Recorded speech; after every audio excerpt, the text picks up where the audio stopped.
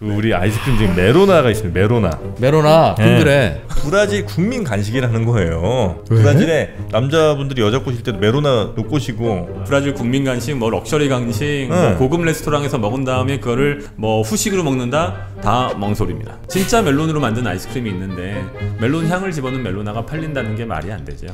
여러분 좋아요와 구독 알림 설정 잊지 마세요. 신과 함께 추석 특집 내 마음의 고향 브라질을 찾아서 반갑습니다. 정프로입니다. 네 반갑습니다. 이프로입니다. 네. 자, 저희가 오늘 아, 또 추석을 맞이해서 네. 아주 특별한 기획 작품을 또 만들어 봅니다. 고향은 못 가도 뭐 온라인으로 갈 거 가장 멀리 있는 나라를 좀 가자. 그렇기도 하고요. 사실 브라질이 제 마음의 고향입니다. 인생의 마지막을 보낸다면 음. 브라질에서 보내고 싶단 말이죠. 어 왜요 왜요? 브라질 설마? 이, 설마 그? 굳이 뭐 묻지 않으셔도 좋을 것 같은데 어, 저희가 추측하는 바로 그 이유입니까? 뭐 우리의 마음은 다 이심전심 아니겠습니까? 음. 뭐 그럴 거라고 저는 이제 생각을 합니다만 여튼 이 브라질 음. 너무 궁금한 것들이 많은 나라고 아직 우리에게 알려진 거는 사실 몇 개 없습니다. 뭐 아주 위험하다, 뭐 길거리에 총 쏜다, 음. 아니면 뭐 삼바 축제 이런 거 말고는 사실 그렇게 알려진 게 없어요. 그럼에도 불구하고 네. 마지막 인생의 여생은 브라질에서 보낼 것이다. 별로 아는 것도 없고 알려진 것도 없고 잘 모르지만 네, 어, 왠지 끌린다. 그 참 희한하죠. 희한하죠. 네. 네. 희한하게 끌리는 그게 바로 나라. 고, 향 같은 곳입니다. 그래서 자 오늘 브라질에 대한 이야기를 해주실 분은요 아, 심용주 박사님입니다. 어서 오십시오. 예, 안녕하십니까. 방금 네. 소개받은 심용주 박사입니다. 반갑습니다. 이분이 아주 흥미로운 분입니다. 브라질만큼이나 흥미로운 분이에요. 워낙 연구도 참 다양하게 하시고 그리고 이제 그 중에 하나 하나가 지금 이제 오늘 말씀 주실 브라질인데 브라질에서 한 4년 네, 4년간 계셨던 거죠. 거주했습니다. 오. 네. 브라질에서 있는 브라질 국민들 중에 브라질에 4년 살아서는 거의 거기서는 그냥 손님인데. 아, 제가 그 학부를 포르투갈어를 전공했습니다. 아, 예. 그리고 석사도 중남미학이 전공이고 그래서 음. 실제 거주 기간 이외에도 한 10여 년 이상 이제 학술적인 활동을 해서 아. 이거저거 네. 합치면 뭐 거의 브라질 사람이라고 봐도 그러니까요. 한국에서는 네. 이 정도 브라질 전문가는 없죠. 네. 거의 뭐 브라질 가- 원어민이에요. 브라질 가면 뭐 사실은 명함 내미기 좀 어렵습니다만 네, 한국에서는 한국말을 하는 분들 중에 이렇게 브라질에 몰두한 분은 없다. 네. 그렇게 봐주시면 감사하겠습니다. 네. 네. 자, 그래서 오늘 심영주 박사님과 함께 브라질의 아주 흥미로운 이야기들 그리고 브라질 우리 왜냐면 우리가 또 브라질과 관련된 뭐 교육도 뭐 없지 않아 있고요. 또 최근에 우리 케이팝도 굉장히 브라질에서도 아주 선풍적인 인기를 또 끌고 있다고 그래서 그런 다양한 이야기들 한번 오늘 모셔서 들어보도록 네. 하겠습니다. 일단 가볍게 요즘 BTS 난리잖아요. 한국의 보이 그룹들 남미 휩쓸고 있습니다. 뭐 인기가 많다라는 얘기들은 이제 계속 네? 들어오고 일단 저는 보이그룹에 전혀 관심이 없어서 네. 네. 그러실 것 같아요. 궁금하지 않고 개인적인 거 궁금하지 않아요. 그 얘기를 하시는지 잘두분 모르겠습니다. 다 서로 관심이 없을 텐데 왜 그 주제가 나왔을까? 전- 그게 그 이제 한국에서 보통 이제 이른바 국뽕이라고들 말씀하시죠. 네. 한국인이나 또는 한국인의 피가 0.1%만 섞였어도 해외에서 뭔가 잘하고 있다 그러면 어깨에 이제 네. 뭔가 으쓱해지는 게 있는 것 같은데 어뭐 실제로 중남미 국가에서 한국의 의미 있는 성과를 내는 것은 맞습니다. 음. 제 이제 중요한 거는 그 성과들이 브라질은 브라질, 중남미 전반의 대중문화에 다 파고 들어간 건 아니고 음. 네. 이제 보통 브라질에서는 저희가 마리아 하시라는 이름을 이제 용어를 쓰는데 마리아 마리아 하시. 그게 무슨 뜻이 하시? 하시는 예. 일본어 하시는 분들은 아실 겁니다. 젓가락. 아, 하씨. 하시. 예. 일본어가 실제로 브라질 내에 많이 퍼져 있거든요. 아니 젓가락이 일본어로 하시예요? 하시. 와리바시는 뭐예요? 와리바시는 모르겠습니다. 하시도 젓가락으로 알고. 아, 와리바시 와리바시 아니야? 와리바시 일본 들으신 분들 뭐 말씀. 밑에 그 댓글 막 달릴 텐데 음. 브라질에서는 하시라 그러면 젓가락을 의미합니다. 아. 밥은 이제 브라질 밥은 브라질 밥이고 그건 예. 아포스고 그다음에 예. 일본식 밥 우리식의 네. 그 찰기가 있는 밥은 이제 어. 고한. 고한? 네. 고환? 네. 고한. 일본어 아마 옛날 일본어일 수도 있습니다. 음. 그것도 이제 뭐 일본인들이 워낙 많고 아 우리가 브라질 안 가본다고 자꾸 어. 고환이라고요? 저희 점검 고한. 들어갑니다. 아, 네. 전 참고로 일본어는 못합니다. 네. 네. 근데 이제 마리아는 감나물려 같은 의미의 마리아입니다. 영, 철수 영이할 때 영이고 하시는 젓가락이고 그럼 이제 네. 젓가락을 들고 있는 마리아라는 의미이고 아. 뭐냐 하면 동양 계통 특히 일본 쪽을 좋아하는 네. 음. 어, 브라질의 젊은 여성들을 지칭하는 말입니다. 네. 아, 그런 분들이 많아요. 어 일본 인구가 100만 정도 되니까 일본 개가 음. 브라질에 네. 왜 이렇게 많어? 1900년대 초반에 대규모로 이민을 갔습니다. 그래서 남미에서는 뭐 거의 유명한 정치인도 일본인이 되기도 대통령도 하고 있고. 예 뭐, 그렇게 음. 하기도 하죠. 그래서 이제 일, 그 브라질 사회 내에 일본 문화가 저변이 꽤 넓은 편인데 네. 특히 이제 몇몇 브라질 여성들 중에서 일본계로 대표되는 아시아계를 특별히 좋아하는 층들이 있습니다. 아하. 아. 그러니까 우리로 따지면 예전에 음. 장구경에 막 이렇게 미치고 네. 뭐, 뭐 천녀유원 뭐 이런 거에 미치고 그랬던 식의 이제 일부 계층이 있고 그분들을 중심으로 사실은 한국 문화에 대한 어떤 인기가 올라가고 있다고 아, 그 보면 메이저는 아닙니다. 아니라는 거예요, 아직도. 절대로 아닙니다. 아 그러면 한국과 일본을 굳이 잘 구별을 안 하려고 하는. 할 필요가 없죠. 이제 지금은 이제 그 마리아 씨들 중에서 특별히 케이팝에 이제 탐 닉하는 음, 분들이야 구별을 네, 하는데 구별하는 거지만 네. 기본적으로는 뭐 한중일은 어디 가나 다 동급. 하긴 우리도 다 그냥 남미라고 부르죠. 그렇죠. 어, 브라질. 네. 그러나 완전히 뭐 다른 상파울로나 뭐 네. 페루나 아. 예. 우리나라 땅이 심지어 100배가 넘는데도 불구하고 남미로 그냥 통칭하는 네. 것처럼 걔네도 그냥 그렇고 참고로 거야. 재밌는 어. 거는 동양 계통을 지칭하는 말이 공식적으로는 yellow, amarelo입니다. 음. yellow? 예, 그러니까 그 흑인이 있고 백인이 있고 인디오가 있고 동양계가 있지 않습니까? 네. 그다음에 혼혈들이 있고 음. 동양계는 그냥 다 amarelo로 통칭해 버립니다. 음, yellow란 뜻이 브라질어로 amarelo, amarelo. amarelo. 네. 음. 그냥 동양 사람들을 그렇게 이제 네. 음. 네, 노랭이 아마- 이렇게 얘기하는군요, 네, 그냥. 그 amarelo를 좋아하는 일부 계층이 있고 예. 그 계층 중에 일부가 이제 케이팝에 탐닉하는 거지. 그게 결코 뭐 브라질 전체에서 의미 있는 퍼포먼스를 내고 있다고 보기 힘듭니다. 그게 amarelo라고 하는 표현이 그냥 중립적인 표현입니까 아니면 약간의 비하하는 표현입니까? 살짝의 깔봄이 어, 그런 뉘앙스가. 살짝 있죠. 살짝 있습니다. 원래 외국인들을 부르는 뉘앙스는 어느 나라나 아, 다. 살짝 그런 게 좀 있는 듯해요. 우리 네네. 심하게 있기도 하고요. 심- 가끔 심하게 있기도 하죠. 우리도 몇몇 나라 사람들을 네, 그렇게 부르죠. 네. 참고로 재밌는 거는 보통 영어에서 니거라 그러면은 엄청난 네. 이제 욕인데 브라질에서는 어, 오히려 블랙에 해당하는 프레뚜가 적절하지 못한 표현이 되는 경우가 있고 음. 브라질에서는 이제 그 니거에 해당되는 네그루가 네그루. 흑인을 지칭하는 공식적인 아, 그래요? 오히려 그게 평범한 뉘앙스다. 어. 우리나라 치면 유색인 뭐 이 정도로. 네. 어. 어, 그게 약간 그렇습니까? 흥미롭습니다. 네. 자, 하여튼 브라질이라는 나라 굉장히 이야기가 뭐 나라 넓이만큼 많이 있을 아, 것 네네. 같아요. 예, 그래서 뭐 오늘 다 저희가 뭐 쏟아낼 수는 없습니다만 없어서 정프로가 궁금한 것만 여쭐 거라는. 네. 한세 번 부르십시오. 네, 뭐 한, 하루 이틀에 될 거. 워낙 땅덩어리가 넓으니까 네. 그죠? 땅덩어리로 따지면 전 세계 한 다섯 번째쯤 네네. 되죠. 5위 안에 들어갑니다. 그쵸. 인구, 뭐 땅덩어리, 경제 규모는 뒤로 조금 밀리긴 했지만 네. 전체적으로 주요 국가죠. 박사님이 브라질과 인연을 맺게 된 계기는 뭡니까? 어쩌다 보니. 점수 맞춰 가면서 포르투갈어를. 전공하게 됐습니다. 예, 그건 뭐 우리는 누구나 다 이해하는. 거고 네. 들어갔더니 되게 재밌더라고요. 어, 포르투갈어가요, 아니면? 브라질이? 포르투갈어도 재미있고 브라질과 관련되는 모든 것들이 재밌더라고요. 어, 포르투갈어를 쓰는 나라가 포르투갈하고 브라질밖에 없습니까? 아, 전 세계에 한 9개 국가 가까이 됩니다. 그 봐요. 그런데 왜 하필 왜 브라질이었습니까? 아, 초기에는 포르투갈을 좋아했는데 나중에는 브라질이 좋더라고요. 어, 그러면 브라질 가면 진짜 일반적인 다른 남미 국가들의 어떤 그 남유럽 같은 느낌이 좀 있잖아요. 그렇죠, 네네. 예, 근데 그 포르, 브라질도 그런 게 좀 있죠. 열대풍의 유럽. 열대풍의. 유럽. 이라고 보시면 되고 음. 대부분의 브라질 및 중남미 국가들은 이제 오래된 유럽의 열대풍이 가미된 약간 네. 퇴락한 느낌. 음, 현대적인 느낌은 별로 없고 보통. 네. 건축물이나 뭐 이런 네. 것들이 다 유럽풍이죠. 네, 근데 그게 이제 이 복구가 잘 안 되니까 음. 현상 유지가 잘 안 되니까 전체로 퇴락한 느낌. 음. 거기에 열대가 이렇게 가미된. 네. 자, 좋습니다. 그러면 브라질 본격적으로 한번 가보겠습니다. 예. 브라질 한 문장으로 딱 얘기하면 어떤 나라입니까? 크레이지. 미친 나라예요? 네, 단어 하나만 있어도 끝날 것 같습니다. 네, 뭐 뭐, 문장이 뭐- 굳이 안 가도 될 것 같습니다. 뭐에 미친 나라? 요란한 모든 놀라운 것에 뭐 가장 대표적인 게 이제 노는 거죠. 네. 유흥 문화가 가장 대표적인 게 어, 이를테면 우리 같은 경우에 나이트클럽 들어갈 때 앞에서 커트하지 않습니까? 네. 당해보셨죠? 그럴 리가 있습니까? 어, 여기는 80 먹은 할아버지가 들어가도 커트하지 않습니다. 그게 법적으로 금지돼 있어요. 인종차별이 되기 때문에 또는 성차별이 되고 혹은 연령차별이 되고. 네, 차별이 되기 때문에 아, 여기 차별이 없습니까, 브라질이? 법적으로 아주 완벽한 수준의 비차별주의를 옹호합니다. 아, 남녀 화장실 구별 말고는 절대 다른 구별은 없다. 네, 성적 차별, 뭐 교육에 대한 차별 모든 것이 거의 완벽하게 보장됩니다. 음, 그래서 실제로도 그래요? 아니면 법이 그래요? 실제로 들었습니다. 와, 그래요? 법이 그러니까 네, 음. 위반하면 난리가 납니다.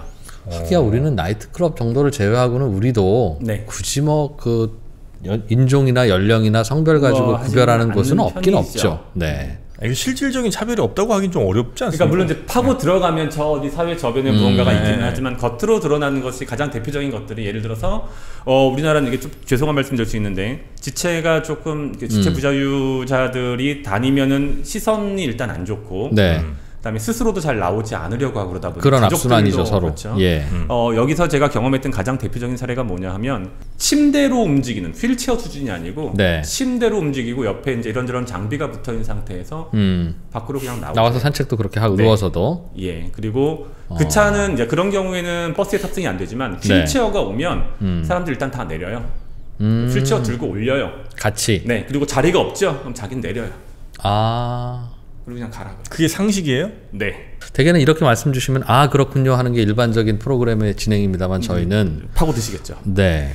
정말 그렇습니다 왜, 왜 그런 그 문화가 생기게 됐습니까? 그 문화의 근원이 무엇인지는 정말 음. 이제 복잡하고 어려운 얘기가 되겠죠. 네. 근데 저는 기본적으로 포르투갈 왕정이 갖고 있었던 이 식민지에 대한 독특한 접근법이 근원이 아닌가 싶은 어떤 사회 역사적인 네. 분석을 해봅니다. 무슨 얘기냐?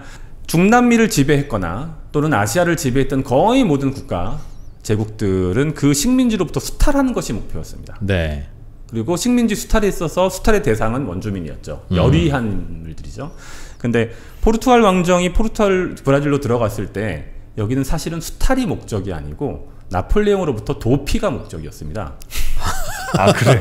그들은 도망 온 거예요? 네, 그래서 어. 나폴레옹 점령기에 포르투갈 왕가가 브라질로 피신을 했고 네. 브라질이 본국이 돼 버렸어요. 아. 아 그래요? 예. 음. 그리고 마지막에 이제 포르투갈로부터 포르투갈이 국권을 회복해서 수복해서 네. 돌아갈 때 왕가가 돌아갈 때 음. 황제는 돌아가고 음. 자신의 아들을 남겨서 통치하게 하고 어, 진짜 형제 국가네 그냥. 나, 네, 나중에는 독립해 버렸어요. 그 음. 상태에서. 어, 나는 안 돌아갈래. 아버지가 돌아가셔서 도- 아들이 돌아갈 때 왕위 계승자가 포르투갈로 복구, 복귀를 해야 되는데 음. 나는 여기 머물래. 내가 여기서 새로운 음. 황국을 만들게가 됐고 어, 그런 과정에서 이 왕가가 가지고 있는 가장 그 절체절명의 문제는 극소수였거든요. 네. 브라질 전체 인민의 1%가 안 됐거든요. 서로 융화되고 협조해야 된다. 그렇죠. 지배할 수가 없는 구조였죠. 음. 네. 그게 어떤 근원적인 그러다 보니 차별도 배려. 하면 안 되고 배려해야 되고 네. 스스로가 이민족이니까 이민족들한테 차별하지 맙시다가 그렇죠. 그들의 구호가 됐겠네요. 네, 그다음에 이제 또 하나 중요한 것은 네. 프랑스로부터 교육이나 법이나 철학을 받아들였어요. 프랑스? 네. 포르투갈인데? 포르투갈이 경제적으로는 14세기, 15세기의 강국이었지만 네. 문화나 예술 또는 철학적인 측면에서는 학문적인 측면에서는 그렇지 못했거든요. 음. 네. 그래서 유럽의 중심 국가인 프랑스로부터 그런 것들을 받아들이고 있었고 네. 프랑스가 가지고 있던 가장 선진적인 사상들이 브라질에 입식됐어요. 음. 그래서 법제로만 보면 전 세계에서 가지고 있는 모든 공화정이나 민주주의 체계 중에서 가장 발달한 형태예요. 그게 프랑스에서 받아서 네. 프랑스 사람들도 놀라겠네요. 원래 우리 그냥 말은 이렇게 하는 거고 그래서 실제로 현실화 하지 그냥 못했던 우리 컨셉이었는데 네. 어 너희들은 베껴서 그대로 하는구나. 다만 돈이 없고 그 안에 이제 뭐 구조적인 문제가 있으니까 100% 실현되지는 안. 되지만 음. 예를 들면 어떤 게 있습니까? 정치 제도나 이런 거 중에 네. 어야 이건 프랑스에서 온 제도인데 공화정이 독특해. 프랑스에서 온 거죠.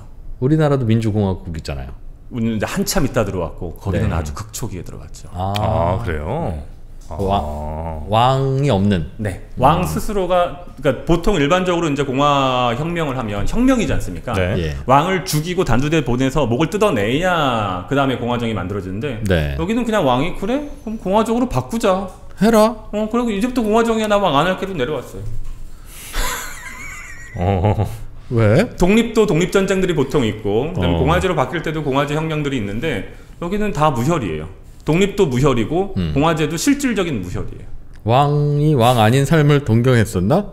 세상 물정을 잘 모르시는 왕이었군요. 그냥 리버럴한 거죠. 어. 그래서 crazy 하나를 더 붙인다면 이제 리버럴 어떤 극한의 리버럴. 아, 그래서 이를테면 그 어떤 단적인 예로 상파울루 시내를 걸어가다 보면 혹시 보셨는지 모르겠지만 거지들이 되게 많습니다. 네. 우리나라 거지는 이렇게 이러고 있잖아요. 예. 부끄러워하고 얼굴을 음. 안 내보이고 최대한 어떤 슬픈 표정을 짓고 있습니다. 네. 대부분의 국가가 뭐 그런 편인데. 그래서 바로 표가 나죠 거지는. 네. 근데 브라질은 거지가 딱 보면 티가 나긴 하는데 대부분 한복판에 이러고 누워 있어요 대자로. 어. 그리고 밥을 달라고 하는 거지가 별로 없고 네. 커피를 한 잔 달라 그래요. 커피를 그래 또 좋아해요. 그게 밥 달라는 말이에요? 아니면 진짜 커피? 정말 커피. 밥 마시고 커피 마시다가 커피를 이렇게 올려놓고 안 마시고 저희끼리 이제 얘기하고 있잖아요. 커피는 식었잖아요. 네. 그럼 거지가 돈 달라 뭐 이런 얘기하지 않고 그 커피 내가 혹시 마셔도 되냐고. 아 그러면 그- 그러세요? 그럼 커피를 네, 마셔요? 커피를 마셔요. 그분도 밥은 드셔야 될 텐데 밥은 밥은 어디 가서 먹겠죠. 뭐, 뭐 망고나무도 많고 파파야도 많고. 아 근데 커피를 즐기신다고요? 네, 그래서 그 거지가 하는 행동을 보고 전 처음에 거의 엄청난 충격을 받았습니다. 어. 그 거지가 광화문 대로 8차선 그- 그 이제 사람들 많이 다니는 곳에 누워서 그냥 이러고 있어요. 음. 우리나라 같으면 난리가 나겠죠. 아 차는 안 다니는 다행히 아니, 인도에서. 인도에서 음. 어. 사람들이 이렇게 야, 빨리 좀 어떻게 좀 옮겨 뭐 이런 이런 것도 아무도 안, 안 해요. 피해 가요. 미안해하면서. 이러고 있으면 옆 우리 같으면 걷거나 발로 차거나 침을 뱉거나 뭐 돌을 던지거나 욕을 할 텐데 최소한 손가락질을 하겠죠. 미안해하면서 이렇게 미안해할 건 또 없지 않습니까? 그 사람이 자유라는 거죠. 아그 사람의 자유를 내가 조금 침해할 수도 혹시라도 내가 뭐 음, 햇- 네. 햇빛을 가릴거나 예. 아, 내 걷는 자유는 왜? 참나. 그 사람은 불우한 사람이니까 가진 사람이 100%야. 아, 아 그래요. 그런 인식이 되게 많이 퍼져 있습니다. 야 그런 그런 사고 방식이 어떻게 만들어졌을지 문화적으로 뭐 좀더 어. 들고 팔 필요는 있지만 제가 네. 보는 가장 큰 이유는 그 두 가지. 누군가가 어. 누군가를 압제하거나 억압하는 어떤 그런 것이 매우 약하고 네. 그런 전통이 약하고 그다음에 어, 정치 제도적으로 법 제도적으로 극한의 어떤 공화적 공화주의적 음. 사고를 갖고 있고 그런 교육을 받고 아니 말씀 들어보니까 사실 그렇게 아주 뭐 중앙집권적으로 힘 강한 정부도 아니었고. 네 아닙니다 지금도 마찬가지고 근데 그렇게 넓은 땅덩어리는 어떻게 가진 거예요, 도대체? 어 이제 흥미로운데 그럼 네? 이제 과거로 들어가야 이 얘기하면 이제 30분 끝날 것 같은데 네 어, 해도 될까요? 어 네, 가셔야죠. 뭐 네. 그럼요. 원래 궁금하니까요. 포르투갈이 처음 브라질을 발견한 얘기를 조금 할 필요가 있는데 네. 한번 들어보시겠습니까? 그 큰 걸 뭘 발견하고 해요? 다뭐 보이지. 아 그 뭐 바늘도 아니고. 그게 이제 처음에 콜럼버스 크리스토바, 크리스토발 예. 콜론 이른바 예. 이제 영어명 콜럼버스가 서인도 제도를 발견한 게 미주 대륙을 처음 발견한 거 아닙니까? 그렇죠. 네. 인도인 줄 알았죠. 네. 예. 근데 그때는 아직 멕시코 이남 지역은 몰랐어요. 그러니까 남미의 존재를 아직 몰랐어요. 음. 그렇겠죠. 네. 예. 그리고 이제 남미의 존재를 차츰차츰 알아가는데 대륙이 워낙 컸었고 어, 처음 브라질을 발견한 거는 그 이제 저희가 보통 동 까브랄 발음이 좀 이상합니다. 네. 까불지 동- 말라는 뜻이네. 네, 동까브랄 제독이 어, 브라질의 북부 지역 지금 이제 살바도르라고 하는 지역을 발견했고 그 다음에 몇년 동안 던져놨었어요. 어떻게 할 방법이 없어서 발견은 했는데 발견은 했는데 새로운 땅을 발견했는데 이 땅의 크기가 얼마만큼인지도 모르고 음. 어뭐 딱히 뭘 가져올 것도 없고 그리고 안 가져와도 거기 있고 늘. 네 그다음에 그래서 제일 먼저 가져온 게 뭐였냐면 원주민 좀 데리고 오고 네. 그것도 노예 목적은 아니었고요 그다음에 음.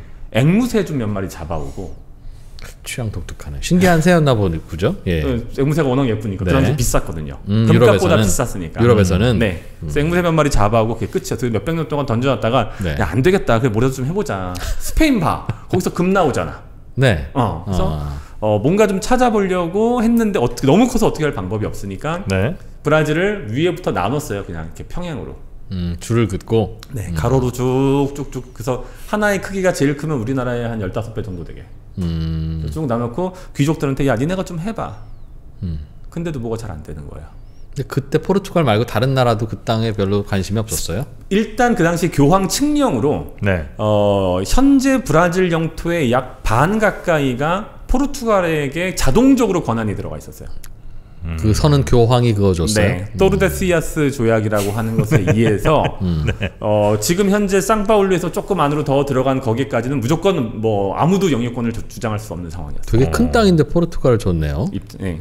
거기 땅이 있는지도 몰랐거든요, 사실은. 교황이 포르투갈 사람이었던가 그랬, 친포르투갈적인 부분이 조금 그랬죠. 있었죠. 사람은 네. 똑같아. 네, 약간 그런 게 있었죠. 예. 그리고 이제 그 상태에서 한참 지나갔는데 네. 그럼 왜 브라질 땅은 장기간 동안 다른 외세의 침입을 안 받았냐? 음. 어, 첫 번째는 아주 초기에는 포르투갈이 상당 기간 감췄고요. 음. 아 있다는 거를. 네, 땅이 발견됐음을 감췄고 네. 두 번째는 거기에서 유용한 자무, 자원이 안 나왔어요. 음. 아 금이라든지 네. 은뭐 이런 것들. 브라질의 경우 의미 있는 지하 자원이 발견된 게 18세기 무렵이에요. 음. 뭐가 발견되면서 황금. 있었네요. 그게 원래 있긴 있었는데 땅이 너무 크니까. 아, 아. 그러니까 지금 같은 경우에도 마나우스라고 해서 지금 이제 그 삼성이 들어가 있는 경제자유구역 이게 아마존의 가장 하구인데 네. 거기에서 배 타고 비행기 타고 뭐 모터보트 갈아타고 해가지고 한 3일 정도 들어가봤자 음. 브라질 전체 지도로는 한 1cm 들어갔을까 말까라는 얘기가 있을 정도예요. 현재도. 네. 그래요? 그러니까 뭐 그 당시에는 말할 것도 없죠. 지금도 이를테면 내륙 지역에 네. 뭐 유연탄 같은 것들이 많이 있는데 네. 끌고 올 방법이 없어요. 음. 아. 도로를 개설할 수도 없고 철도를 개설하더니 돈이 안 나오고 음. 그러니까 그냥 던져놓고 있는 거죠. 그 당시에는 뭐 말할 필요도 없었던 거죠. 어찌 보면 거의 쓸모 없는 땅이었군요. 그 당시에는 버려진 땅이라고 보는 게 맞겠죠. 네. 근데 이제 황금이 발견되면서 안쪽으로 일종의 골드러시가. 네 아, 발생했다. 그러면서 이제 제일 먼저 눈독 들인 게 저기 프랑스, 음. 네덜란드, 네. 영국. 그게 발견될 무렵에 이미 음. 포르투갈은 대항해 시대가 끝나고 쇠락하고 있었고 네. 네. 근데 왜 안 안 잡아먹어? 많이 공격 당하고 있어요. 아, 포, 아 브라질도. 네, 실제로 리우데자네이루가 어, 영, 뭐 영국은 약간 좀 얘기가 복잡하긴 하지만 프랑스와 네덜란드로부터 엄청나게 공격을 당했고 일부 지역이 실제로 점령됐던 적도 있습니다. 아 그래요. 음. 그럼 그큰 땅을 포르투갈 주기가 좀 그렇죠. 여기는 땅 덩어리가 거의 남미의 절반? 한 절반이에요. 대략 절반입니다. 어, 진짜 넓긴 넓다. 지도 보고 계신 거죠 지금? 네, 지금 지도 보고 대략 있는데. 절반입니다. 그럼 여기는 저 위에 계신 분들이랑 저 밑에 계신 분들은 완전히 그냥 다른 나라 사람들. 어, 다 말도 다르고 생김새도 다르고. 네. 음. 이를테면 저 같은 경우에는 이제 일종의 쌍파울루 표준어를 하는 편인데 네. 제가 북부 지역으로 가면 말을 잘 못 알아듣고요. 음. 네, 남부 지역으로 가도 말을 잘 못 알아듣습니다. 그게 제주도 분하고 서울 분하고 서로 안 통하는 그 정도, 느낌이에요. 네, 그 정도 느낌이 됩니다. 그래도 그다음에 생김새도 완전히 다르고. 이를테면 지젤 번천 아시죠? 지젤 번천. 네. 아유 패션 모델. 그게 이제 원래 브라질 발음으로는 지젤리 빙신인데, 네. 그 지젤리 빙신 같은 경우에는 키 180이 넘고 네. 이제 그분은 백인 아니에요? 어, 독일계죠. 정확하게는 음. 독일 이민들이 또 엄청 많습니다. 남부에는. 아 독일계도 네. 브라질의 남부 지역에는 독일을 비롯한 유럽계 이민들이 많고 예. 쌍파울루에는 이거저거 아타리 잡탕이고 음. 북부 지역으로 가면 흑인 계통이고. 아 그래요. 네. 그래서 완전히 달라집니다. 그 다음에 뭐 남부 같은 경우에 눈이 오고 네. 저희가 보통 이제 가장 많이 갖고 있는 오해가 브라질이 열대 지방이다. 음. 일부가 열대 지방이죠. 그렇죠. 네, 어, 이 일- 정도면 웬만하면 다 있겠네요. 열대도 있고 온대도 네, 있고. 모든 기후대가 다 있다라고 보는 게 맞습니다. 어.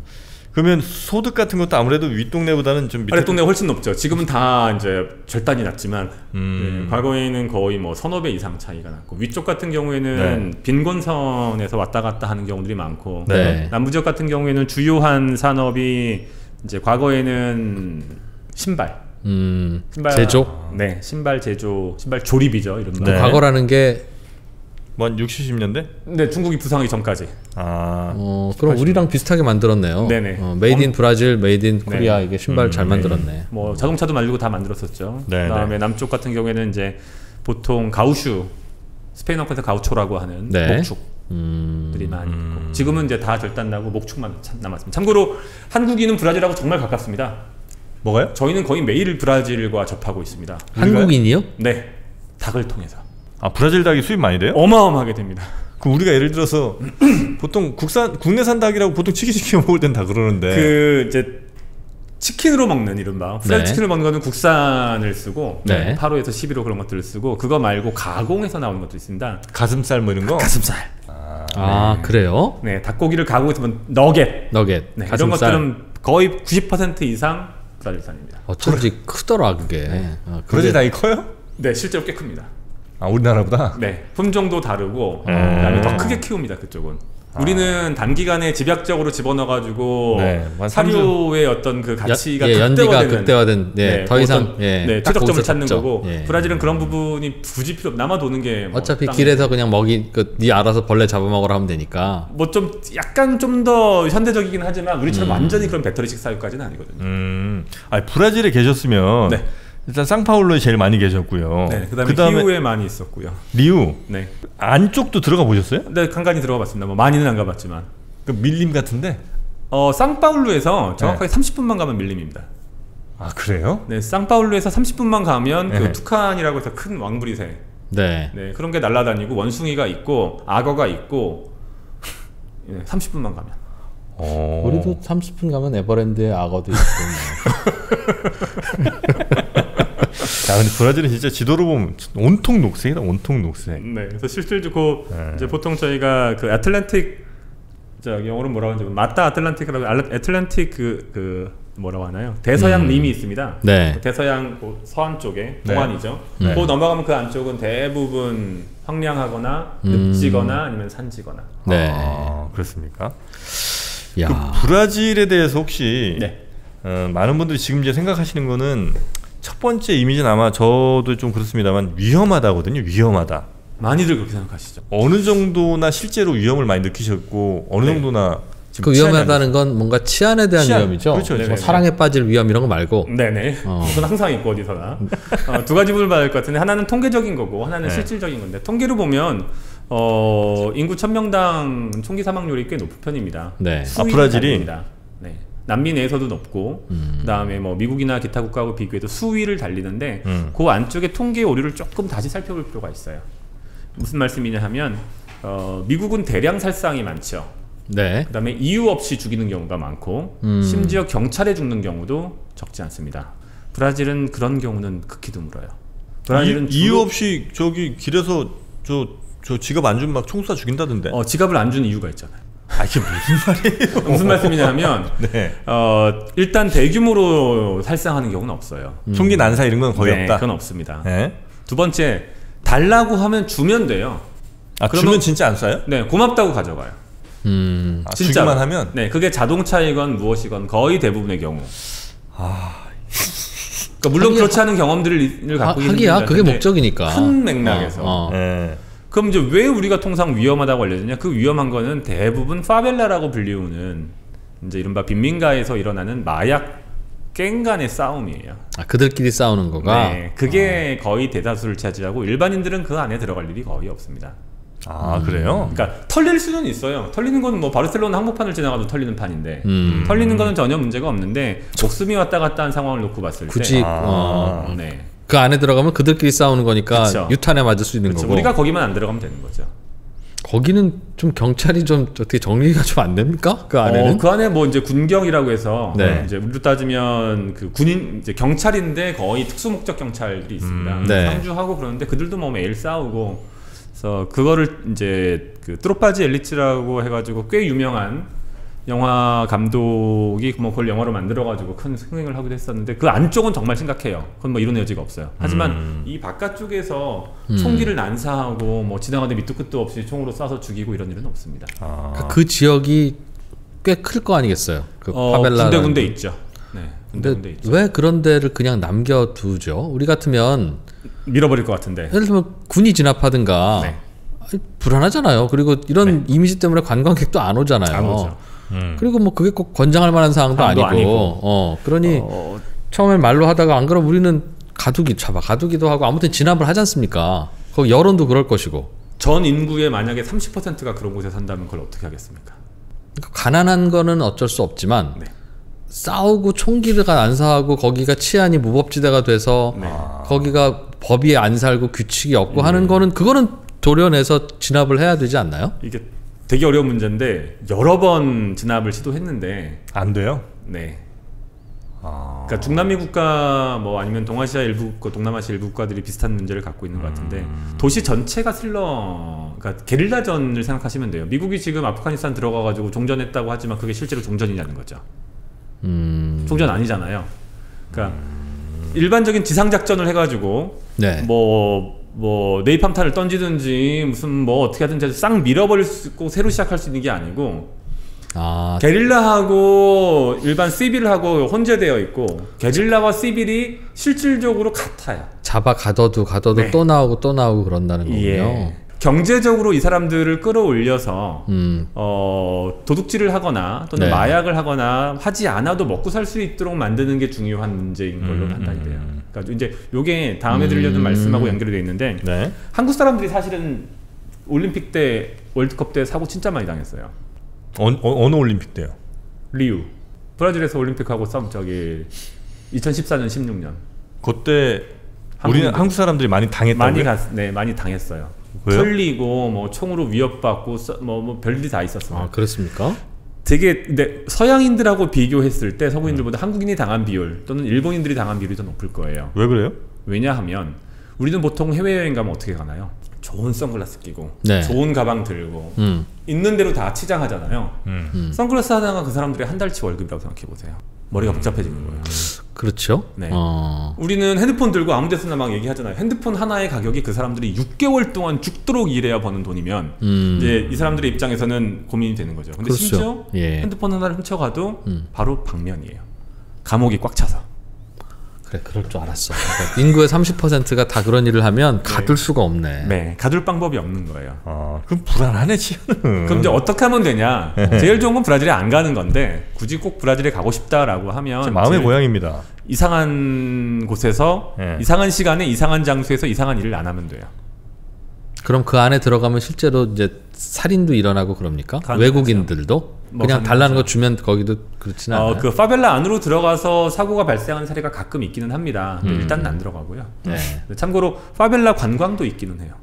있겠죠. 궁금하겠죠. 네, 네, 네. 파벨라- 방탄 방탄차 타고 파벨라 일부 지역이 음. 그냥 이렇게 마른 파벨라 그러니까 빈민촌이 곧 갱단 속으로는 아니고 네. 빈민촌의 갱단들이 이렇게, 이렇게 중간 중간에. 네, 산재해 있는 거니까 갱단들이 없는 지역 또는 갱단하고 협조를 하는 거예요. 음. 협조를 해요. 네, 그래서, 그래서? 이 지역을 우리가 관광 목적으로 할게. 음. 아. 그러니까 여긴 건드리지 말자라고 하면 갱단도 굳이 거길 건드릴 필요가 없으니까.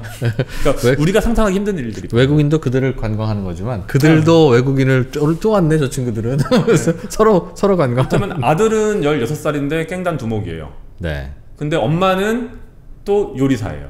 아. 그럼 엄마는 거기서 레스토랑 할 수 있거든요. 아들이 지켜주니까. 뭐 그럴 수도 있고 그렇지 않을 수도 있고. 네. 그러니까 그 안에서 네. 그런 폭력, 폭력이 좋은 사람은 없잖아요. 그렇죠. 예, 폭력이 그- 좋은 사람은 그러니까 없죠. 그들도 그런다 다만 그들이 그 안에서 뭔가 경제 활동을 하고 먹고 살기 위해서는 그런 폭력과 무질서가 필요하다는 뜻인데 그게 어, 왜 그게 필수적이지? 그게 어뜻 이해가 안 가서요. 실수라기보다 이제 그러면 이제 브라질의 그 노예 해방 과정으로 돌아갈 필요가 있습니다. 노예 해방 과정이 갑자기 이유가 있다니까. 예. 그 파벨라에 살고 있는 거의 모든 사람이 흑인 또는 흑인 혼혈이에요. 네. 그리고 그 사람들은 이제 브라질이 노예 해방을 하면서 갑자기 주인과 살 곳이 없어진 거죠. 그러면 음. 이제 브라질 내부나 내륙이나 북부 지역에 있던 대농장들, 통상 네네, 이제 파젠다라고 하는 그 대농장들이 갑자기 다 셧다운이 된 거예요. 음. 그러면서 그 사람들은 어디로 가겠습니까? 갈 곳이 없으니까 도시로. 그나마 흑인 문화가 가장 그 당시에 차, 그 이제 발흥하고 있고 네. 동시에 일거리가 많이 있던 리오데자네이루로 몰려들어온 음. 거예요. 또는 상파울로 몰려간 거예요. 대도시로. 예. 네. 그리고 정부의 입장에서 이 사람들 을 어떻게 할 수가 없었어요. 네. 그렇죠. 국유지를 점, 무단으로 점유하는데 그거를 만약에 통제하면 그다음에 반란이 일어나니까. 음. 우리도 서울로 올라와서 무허가 판자촌 있었던 데가 똑같았어요. 1960년대 그렇죠. 이럴 때. 예. 저도 뭐 옛날 사람이다 보니까 예. 그 언제쯤이 대충 그 노예 해방되고 이렇게 막 1800년대 1800년대. 음. 그래서 그때부터 그러면 그 빈민촌이 도시 곳곳에 이렇게 형성이 네네네. 되고 그 규모가 어마어마하고 예. 특히 리오데자네이루가 가장 악명 높죠 그 빈민촌이. 아 그렇습니까? 거기가 근데 사람 제일 많이 사는 데 아니에요? 리우데자네이루가? 어 제일 많이 사는 건 상파울루. 아 상파울루. 상파울루에는 이제 그 외곽까지 합쳐서 한 2천만 명. 그런데 우리는 그런 가난한 사람들이 모여 있을 때는 네. 대개는 그냥 모여서 살고 어렵게 살면서 다음 날 뭐 날품팔이라도 일을 나가든가 네. 그 일이 없으면 그냥 거기서 굶든가 서로 다 가난하니까 네. 옆집을 털어봐야 마찬가지잖아요. 그러니까 그렇게 하다가 뭐 못 살면 네. 인구가 줄어드는 것이고 뭐 그런 상황이 계속 지속될 수 있고 그거는 우리도 겪었으니 네, 이해가 네. 되는데 그 안에서 활발하게 전투가 벌어지면 그게 일종의 그들의 입장에서는 경제 활동이니까 진압도 안 되고 단속도 안 되고 네. 없어지면 또 살아난다는 네네. 뜻이잖아요. 근데 그게 어떻게 돈벌이가 되죠? 그게 이제 가장 중요한 게? 건 마약 유통이고요. 네. 내부에서는 마약이 가장 큰 산업이고 네. 브라질 내에선 참고로 마약을 거의 재배하지 않습니다. 음. 제조하지도 않고. 네. 근데 어디서 갖고 와요 그러면? 콜롬비아 뭐 이런 데서? 들어옵니다. 아 파라과이. 파라과이에서 네. 그럼 거기는 시장입니까 브라질은 거래 시장? 그렇죠. 필요한 수요자가 거기 가서 네. 산다. 그다음에 실제 생산은 또 파라과이가 아니에요. 이제 코카인이 가장 많이 흔히 볼 수 있는 음. 뭐 마리화나는 마약이 아니고 실질적으로 네. 한번 그냥 길거리에서 다 하고 코카인도 심지어 길거리에서 하거든요. 브라질에서요? 아 예. 그냥 이렇게 놓고 하는 경우들이 있어요. 뭐 흔히 하는 거는 아니지만 그런 사람들이 있고 그거는 이제 안데스 지역에서 네. 생산됩니다. 예. 그럼 그쪽에 이제 코카잎이 있고 그 코카잎을 가지고 코카인을 제조한 다음에 그게 자유무역지대인 파라과이를 통해서 브라질 내륙으로 퍼져나가요. 음. 아 그래요. 거기에 이제 총기가 들어가고 매춘이 들어가고 이제 이제 복잡해지는 거죠. 어. 아, 거기에 이권이 있으니까 이제 서로 저 뒷골목에서 우리도 치고받고 폭력 싸우고, 폭력배 네. 조직들 매일 그 싸우듯이 그렇게 싸우고 그래 먹을 게 없으면 싸울 것도 없어. 또 그걸 없애기 위해서 경찰이 거기에 다시 공격을 어, 먹을 게 있으니까 싸운다는 거예요. 네. 먹을 게 있지만 귀하니까 싸우겠죠. 그럼 거기 살고 있는 대부분의 빈민들 같은 경우에는 마약과 관련되는 일에 자기가 직접적으로 하진 않더라도 자신의 친구, 네. 자신의 형제, 어, 어, 자신의 부모가 연계되어 있는 경우가 많고 네. 그래서 구분이 안 되는 거죠. 음, 네. 그리고 다 잡아도 넣을 것도 없고 그럼 넣었다가 나오면 할 게 없으니까 또 할 수밖에 없고 그렇죠. 네. 뭔가 제조업이 좀 있거나 어, 그래야 되는데. 교육 수준도 낮고 음, 제조업 같은 게 브라질은 아직은 많이 약하죠. 음, 중남미 국가들 중에선 제일 강합니다. 아 그래요? 네, 중남미 국가에서 멕시코의 그 마킬라도라 지금은 좀 맛이 갔지만 그거를 제외하고는 브라질이 제일 강하고 음. 최첨단 산업은 특히 아주 탁월합니다. 탁월해요? 어, 150인승 이상의 제트기를 만듭니다. 그리고 비행기를 만드는 몇 안 되는 나라라고 네, 들었어요. 이미 수십 년 전부터. 어 브라질이 1960년, 60, 96년도인가 우리나라 KAI 있지 않습니까? 네. 이제 KAI의 전신에서 브라질로부터 그 기술을 수입하려다가 좌절한 걸로 제가 알고 있고 음. Embraer라고 하는 거의 뭐 네, 보잉에 필적하는 수준의 네, 브라질에 항공기 제조업체가 네. 있다고 들었어요. 네. 그게 전 세계로 수출이 돼요 항공기가? 음, 그 최근에 어... 디 무슨 인수합병도 있었던 그 회사하고. 네네. 되게 우리는 이런 얘기를 들으면 와 브라질이 손재주가 좋고 대단한 나라구나라고 생각해야 되는데 우리는 비행기가 만들기 쉬운가 보구나 그런 식으로 실제로 그 비행기 제트 같은 경우에는 뭐 제트기는 1960년대부터 생산을 했고 네. 뭐 우리랑은 비교가 안 될 정도로 앞서 있는 국가 항공 부분에서는. 관련해서는 네. 그다음에 뭔가 원자력 벼- 기술도 뛰어나고 굉장히 제조업 강국이었던 적이 있었다는 뜻인가 봐요. 80년대 90년대까지 브라질이요? 자동차도 직접 만들었고요. 지금은 없어요? 그러니까 지금은- 이케아처럼 이렇게 설계도 주고 이렇게 똑같이 만드세요 이게 아닌 거잖아요. 이제 되게 재밌는 얘기를 이제 해야 드려야 되는데 저희는 보통 그 비행기를 누가 처음 만들었다고 알고 있나요? 라이트 형제 라이트 형제. 브라질에서는 라이트 형제는 사기꾼입니다. 무슨 소리예요 그게? Santos Dumont이라고 하는 프랑스계 브라질인이 라이트 형제보다 먼저 비행기를 만들었습니다. 음, 그래서 실제로 리우데자네이루에 공항이 두 개 있는데 그 네. 중에 하나가 Aeroporto de Santos Dumont이에요. 어 네. 국제적으로 야 우리가 먼저 만들었어라고 음. 근거는 있어요? 네. 먼저 만들었다. 하기야 먼저 만들었을 수도 있어요. 라이트 형제도 그런 게 있다는 거 너무 너무 멀리 떨어져 있으니까 네, 네. 그때 그런 경우들이 많았지 않습니까? 이를테면 예. 미분을 갖다가 비슷한 시기에 발견했는데 그렇죠. 예, 뭐 누가 먼저 학술대회 내고 음. 여기는 그냥 뭐뭐 뭐 이런 경우들이 많아요. 그럼 우리나라의 금속 활자가 유럽에 전해졌겠어요? 네. 유럽에다 얘기하면 따로따로 만든 거지, 서로. 어. 정확히 그런 케이스입니다. 네. 아 그래서 브라질이 그럼 항공 이쪽으로는 굉장히 그 자부심 같은 것도 세겠군요. 그렇죠. 엄청나게 강하죠. 음. 어. 그야말로. 그리고 뭐 그다음에 이제 심해 네. 초심해 탐사 기술이 브라질 전 세계 최고입니다. 심해 탐사 기술. 네, 3,000m 이하. 와. 현재 전 세계에서 수심 3,000m 이하의 탐사 채굴 기술은 브라질이 최고. 음, 그들은 그럴 일이 과거에 있어서 개발했겠죠 그 기술을. 그 리오데자네이루 앞쪽에 광구가 엄청나게 많고 음. 거기에서 기름들이 나옵니다. 아 석유 캘 때 필요하니까. 네. 아까 이제 정프로님께서 프로 시작하기 전에 프로그램 시작하기 전에 네. 이제 뭐 브라질 경제 이런 말씀하시면 채권 얘기하고 그랬었는데 네. 2000년대 초중반부터 2010년 11년까지 브라질 채권이 한 번 랠리를 경험한 적이 있죠. 네. 음, 그때 그 랠리의 가장 큰 이유가 리오데자네이루 앞바다에서 발견된 광구였어요. 아. 석유가? 그 전에는 브라질에 석유 없었어요. 아주 적게. 야 그 큰. 땅에서 네, 제한적. 그러기도 쉽지 않다. 그러니까요. 아주 제한적이었는데 해저 광구를 발견하면서 이른바 떡상을. 야 그렇게 육지가 넓은 땅에서 바다를 파야 겨우 석유가 처음 나왔다고요? 근데 브라질은 한 1억 년 뒤에는 아마 거기가 다 석유일 거예요 아마. 워낙 지금 나 아, 나무- 바다. 네. 나무들이 아, 많아서 안 캐봐서 그렇겠지. 있긴 있는데. 그럴 수도 있겠군요. 너무 땅이 넓으니까 있습니다. 있을 거야. 설마 그 넓은 땅이 없으면 그 진짜 이상한 거지. 자 그러면 아 이 브라질 얘기 뭐 끝도 없이 화수분처럼 나오는데 하나만 딱 더 여쭤보고 일단 네. 오늘 시간은 정리하고 다음 시간에 더 이어서 좀 네, 듣도록 알겠습니다. 하겠습니다. 어, 나 브라질의 부동산 궁금한데. 부동산은 다음 시간입니다. 집값, 월세 이런 우선 거. 다음으로 넘기시죠. 네. 네. 아, 이런 얘기가 있어요. 그 우리 아이스크림 중에 메로나가 있습니다. 메로나. 메로나 네. 빙그레. 네. 메로나가 아시는군요. 브라질 국민 간식이라는 거예요. 왜? 브라질에 애들부터 뭐 특히 이제 여성분들이 어마어마하게 좋아하는 이 메로나 없음 그러니까 남자분들이 여자 꼬실 때도 메로나로 꼬시고 뭐 얘- 정프 그래서 마음이 고양이구나. 거기 메로나 한 자신 있구나. 메로나 그 맛에 미친다는 거예요. 오. 어느 정도입니까 그 인기가? 거짓말입니다. 예? 구라예요. 아, 메로나 지금 브라질 뉴스 함 나와요. 네. 왜 없는? 한국어로 치면 멜로나 네. 그러면은 뭐 이만큼이 나옵니다. 브라질 국민 간식, 뭐 럭셔리 간식, 뭐 네. 고급 레스토랑에서 먹은 다음에 그거를 뭐 후식으로 먹는다 다 멍소리입니다. 그 멜로나는 네. 어디에 있냐 하면 어 동양인들이 사는 구역에 음. 동양인 슈퍼에는 꼭 있어요. 그게. 동양인 슈퍼에? 네, 일본계 슈퍼, 한국인 슈퍼에는 멜로나가 꼭 있어요. 한인타운에 김치 있고 단무지 있는 것처럼 그래서 거기에 어떤 이국적인 음식을 먹기 위해서 가는 브라질인들이 있긴 있겠죠. 가끔 봐요. 근데 멜론이 넘쳐 흐르고 진짜 멜론으로 만든 아이스크림이 있는데 멜론 향을 집어넣은 멜로나가 팔린다는 게 말이 안 되죠. 안 먹습니다. 왜 소문이 그렇게 났지? 국뽕의 연장선상이라고 저는 봅니다.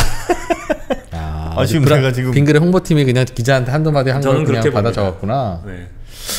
아, 아니야. 나 지금 그런데- 찾고 있는데. 많이 있어요. 실제로 많이 있어요. 네, 이버에 치면은 뭐 메로나 브라질 치면 이만큼 나옵니다. 음. 근데 그거는 어, 네.